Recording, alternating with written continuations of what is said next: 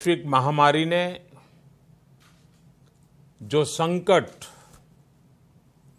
पूरे विश्व के सामने उपस्थित किया है, उसे देखते हुए मेरी यही कामना है कि हम सभी पर बसवेश्वर की कृपा बनी रहे और हम भारतवासी मिलकर इस महामारी को परास्त कर पाए और न सिर्फ़ भारत का पूरी मानव जात की कल, के कल्याण में कुछ न कुछ हम योगदान दे पाए।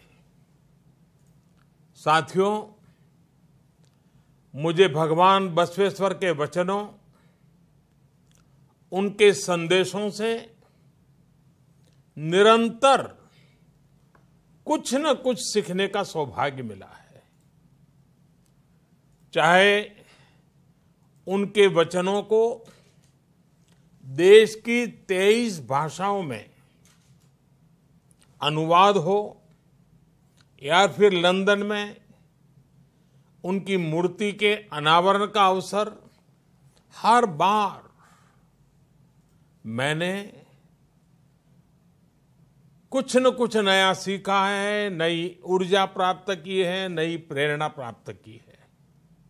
साथियों, मुझे बताया गया कि 2017 में बसवन्ना के वचन के डिजिटाइजेशन का जो सुझाव मैंने रखा था, उस पर आपने व्यापक काम किया है।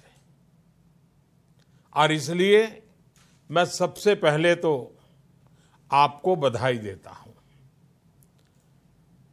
इस बार ये समारोह भी डिजिटली पूरी दुनिया में आयोजित किया जा रहा है।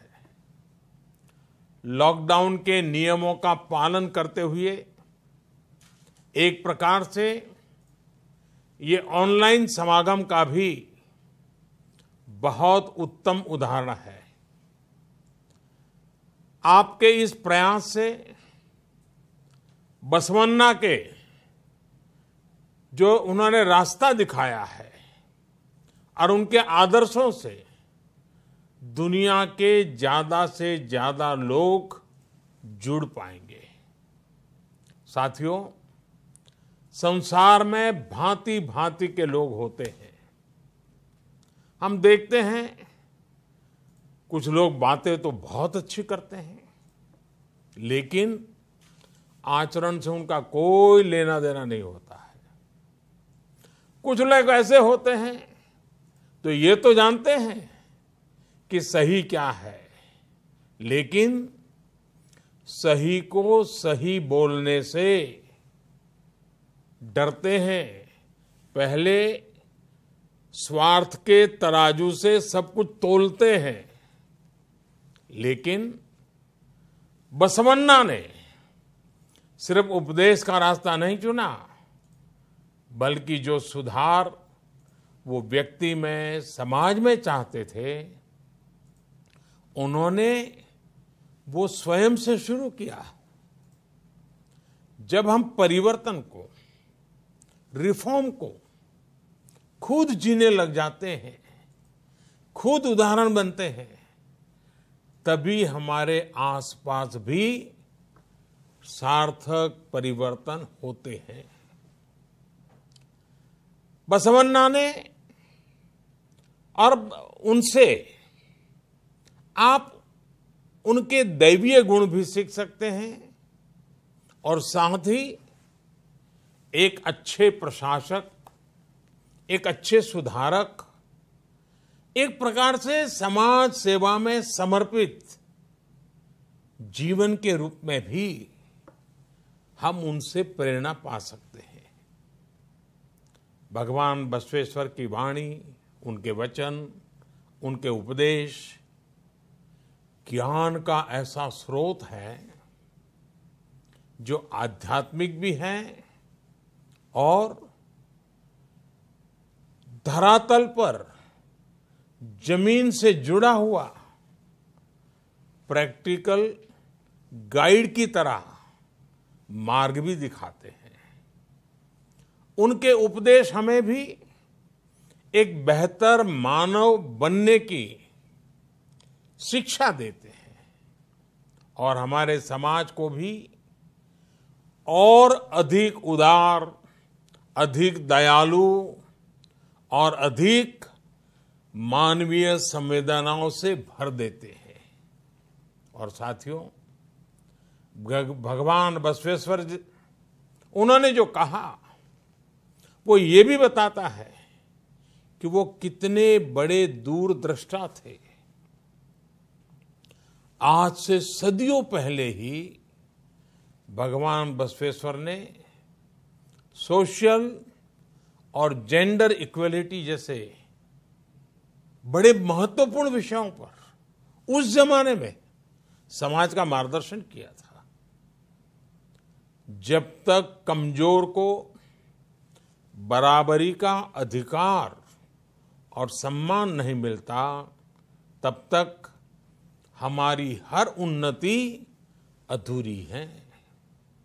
ये बात उन्होंने उस दौर में समाज को सिखाई थी।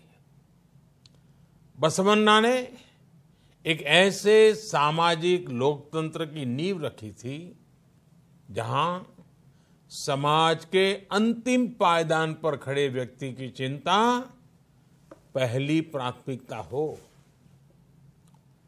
बसवन्ना ने मानव जीवन के हर पहलू को छुआ है। उसको बेहतर बनाने के लिए प्रैक्टिकल समाधान सुझाए हैं।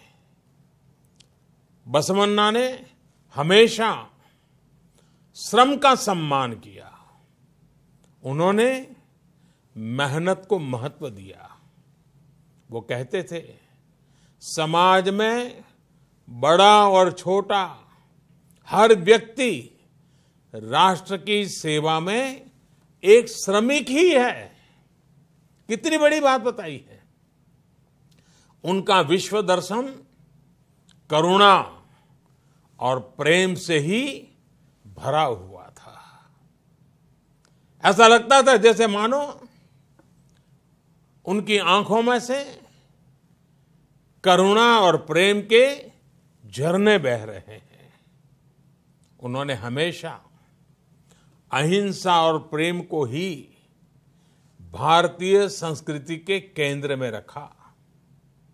और इसलिए आज जब हमारा देश, हमारा भारत अनेक चुनौतियों को पार करते हुए आगे बढ़ रहा है तो बसवन्ना के विचार उतने ही प्रासंगिक हो जाते हैं।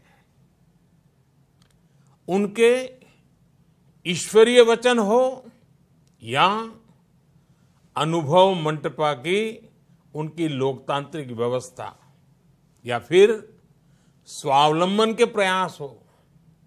बसवेश्वर ने हमेशा इन्हें समाज निर्माण का अहम हिस्सा बनाया।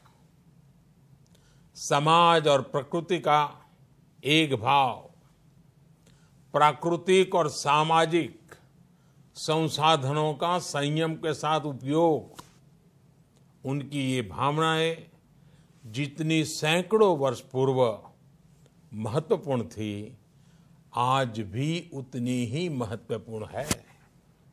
साथियों 21वीं सदी के भारत में भी आज अपने आसपास युवा साथियों में, देशवासियों में सार्थक बदलाव के लिए एक मज़बूत इच्छा शक्ति,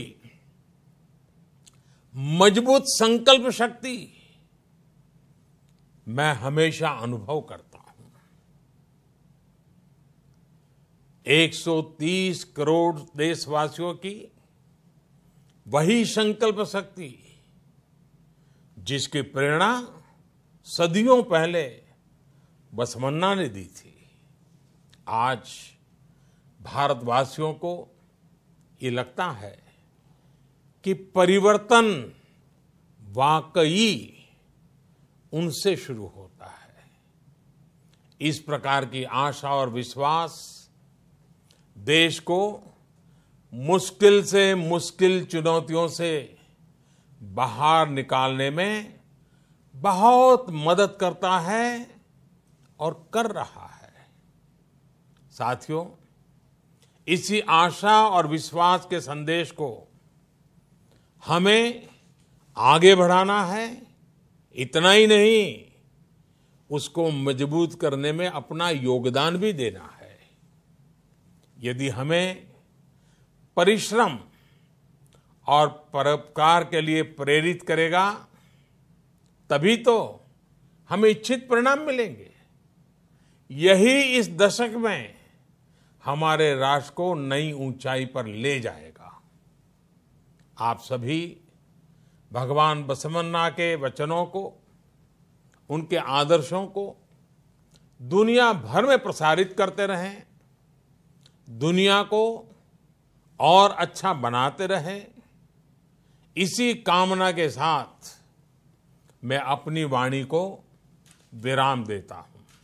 हाँ इन सब कार्यों के बीच आप सभी अपने स्वास्थ्य का भी ध्यान रखिएगा। और इन दिनों स्वास्थ्य का ध्यान रखने के लिए एक ही मंत्र है।